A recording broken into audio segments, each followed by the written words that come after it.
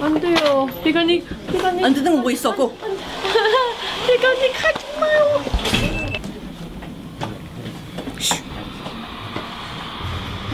우리 비건이는. 데려가지 마요. 비건이 가지 마. 나? 인이어 껴줘야 돼. 박수예요. 갈게요. 고! 아이고 아, 이름이 뭐예요? 아, 저 박선영이라고 아 하고요. 진짜요? 그러, 그랬어요? 알겠습니다. 엠본 팬이라서. 아 진짜요? 아 저희도 다른 멤버도 좋아해 주세요.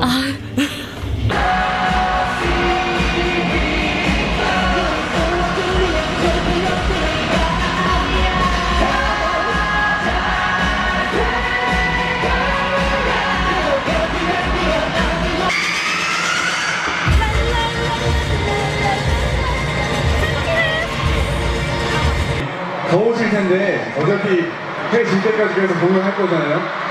그래서 지금부터 이렇게 열기를 슬슬 달구다가 한번 터트려 봅시다.